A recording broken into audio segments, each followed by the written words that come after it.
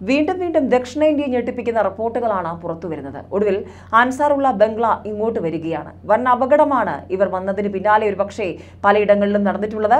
അതുകൊണ്ട് തന്നെ ദക്ഷിണേന്ത്യ അതീവ ജാഗ്രതയിൽ മുന്നോട്ട് പോകേണ്ട സമയമാണ്. പ്രത്യേകിച്ചും കേരളം അടക്കമുള്ള സംസ്ഥാനങ്ങൾ കൂടുതൽ ജാഗ്രത പാലിക്കേണ്ട സമയമാണ്. ഏതായാലും ഞെട്ടിക്കുന്ന വിവരങ്ങളാണ് പുറത്തു വന്നിരിക്കുന്നത്.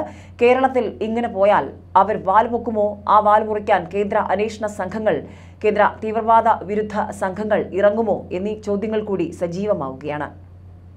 ദക്ഷിണേന്ത്യയിൽ വേരോട്ടം ഉറപ്പിക്കാൻ അൽ ഖ്വയ്ദ സ്ലീപ്പർ സെല്ലുകൾ പദ്ധതിയിടുന്നതായി റിപ്പോർട്ടുകൾ പുറത്തുവരികയാണ്.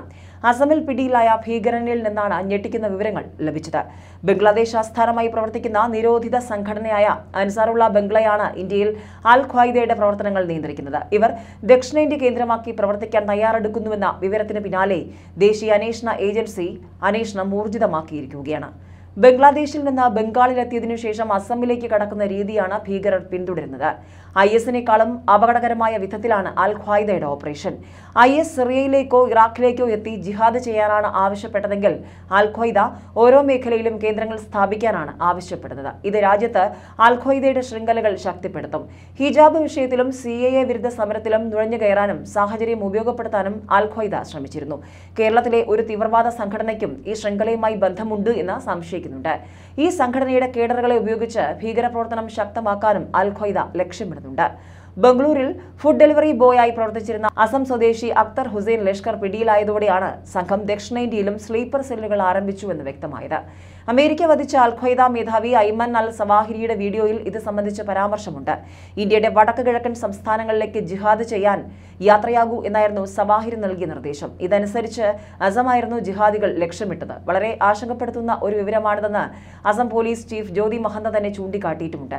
അതേസമയം രാജ്യമൊട്ടാകെ ഇതുവരെ എൻ ഐ എ നടത്തിയ ഓപ്പറേഷനിൽ മുപ്പതോളം തീവ്രവാദികളെ പിടികൂടിയിട്ടുണ്ട്. നിരവധി മൊബൈൽ ഫോണുകളും ടാബ്ലറ്റുകളും ലാപ്ടോപ്പുകളും ഇവരിൽ നിന്ന് പിടിച്ചെടുത്തിട്ടുണ്ട്. ആഗോള ഭീകര സംഘടനകളുമായുള്ള ഇവരുടെ ബന്ധം വെളിവാക്കുന്ന രേഖകളും കണ്ടെത്തിയിട്ടുണ്ട്.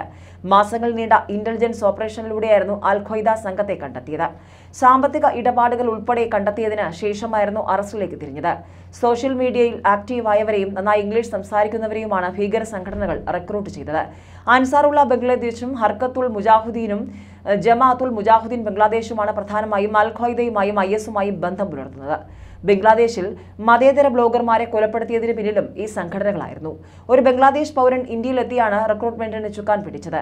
അൻസാറുകൾ എന്ന് വിളിക്കുന്ന സ്ലീപ്പർ സെല്ലുകളായി പ്രവർത്തിക്കാനായിരുന്നു റിക്രൂട്ട്മെന്റ് അൽഖയ്ദയ്ക്ക് ഇന്ത്യയിൽ ശക്തമായൊരു കേന്ദ്രം സ്ഥാപിക്കുക എന്നതായിരുന്നു ലക്ഷ്യമിട്ടത് എന്ന വിവരവും പുറത്തുവരികയാണ്. ഏതായാലും മതമൗലികവാദികളെ പേടിച്ച് ഒരു വശത്ത് ജീവിക്കാൻ രക്ഷയില്ല കേരളത്തിലെന്ന് കേരളത്തിലെ ബി അടക്കം ആശങ്കകൾ പറഞ്ഞുകൊണ്ടിരിക്കുന്ന സമയമാണ്. കേരളത്തിലെ പ്രതിപക്ഷം പലപ്പോഴായി സി പി എമ്മിന് മതമൗലികവാദികളുമായി ഇരട്ടത്താപ്പുണ്ടെന്നും കശ്മീരിലെ ഭീകരന്മാരെ കേന്ദ്രം പൂർണമായും ഉന്മൂലനം ചെയ്തപ്പോൾ ദക്ഷിണേന്ത്യ കേന്ദ്രീകരിച്ച് പ്രത്യേകിച്ചും കേരളവും കർണാടകവും തമിഴ്നാടും ലക്ഷ്യമിട്ടുകൊണ്ട് തീവ്രവാദികൾ നുഴഞ്ഞു കയറുന്നുണ്ടെന്നും കേരളത്തിലെ ചില മത തീവ്രവാദ മൗലികവാദ സംഘടനകൾ ഇവർക്ക് ഒത്താശ ചെയ്യുന്നുണ്ടെന്നും ആക്ഷേപങ്ങൾ പോയ ദിവസങ്ങളിൽ കേരളത്തിലെ പ്രതിപക്ഷം പ്രത്യേകിച്ചും B ഉയർത്തിയിരുന്നു.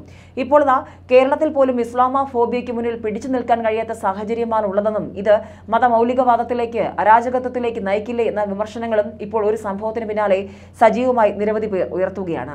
S D P I പോലൊരു സംഘടനയോട് മല്ലടിച്ചു പിടിച്ചു നിൽക്കുക അത്ര എളുപ്പമല്ലെന്നും ജനഗണമന എന്ന ചിത്രത്തിന്റെ തിരക്കഥാകൃത്ത് ഷാരിസ് മുഹമ്മദ് പറഞ്ഞു വെച്ചത് എന്താണ് എന്ന ചോദ്യം കൂടിയാണ് ഇപ്പോൾ കേരളത്തിൽ മറുവശത്ത് നടക്കുന്ന ചർച്ചകൾ.